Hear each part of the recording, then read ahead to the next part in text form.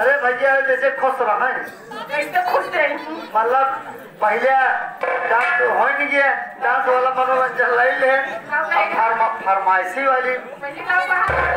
मतलब डांस मनोरंजन लाइल है? हाँ?